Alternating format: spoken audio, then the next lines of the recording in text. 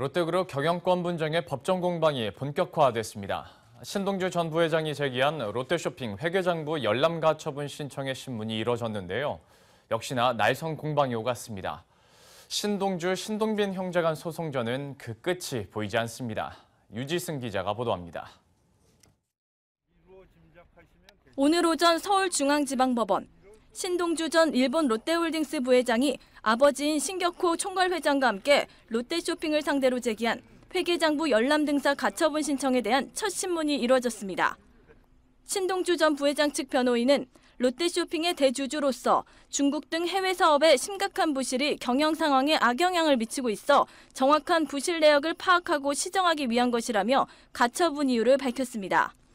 이에 대해 신동빈 회장 측은 신 회장 경영 성과에 타격을 주기 위한 소송으로 면세점 사업권과 호텔 롯데의 상장을 저지하고 형 경영진을 압박해 자신의 경영권 복귀를 위한 개인적 목적에 의한 것이라며 가처분 신청을 기각해야 한다고 주장했습니다. 양측이 첨예하게 맞서면서 다음번 신문기일은 5주 뒤로 미뤄졌습니다.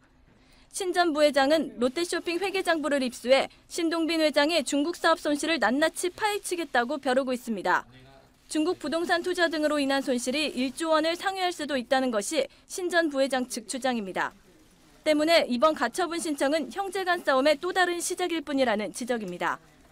이달 초 일본 롯데홀딩스를 상대로 일본 법원에 제기한 신격호 대표이사 해임 무효 소송과 한국에서 호텔 롯데와 롯데호텔 부산을 상대로 제기한 신동주 이사 해임에 대한 손해배상 청구 소송은 2라운드 격입니다.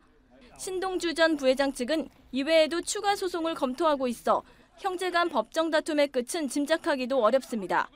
현재로서는 두 형제가 화해할 가능성이 극히 낮은 상황. 장기화되는 소송전이 롯데그룹 경영과 국민 정서에 어떠한 영향을 미칠지는 불보듯 뻔하다는 지적입니다.